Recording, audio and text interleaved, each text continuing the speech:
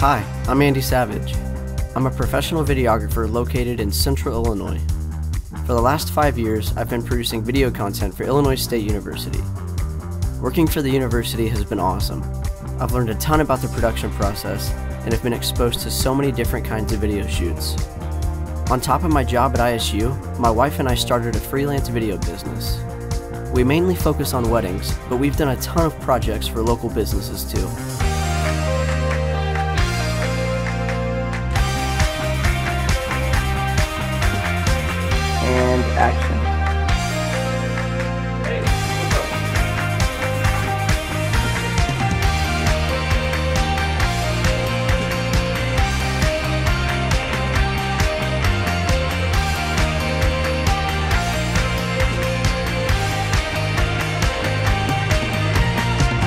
My videos didn't always look like this.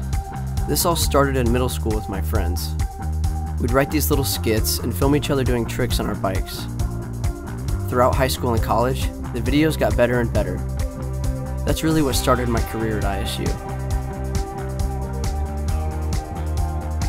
I never considered content production as a full-time gig for myself, but the opportunity threw itself in front of me, and I don't regret it for a second.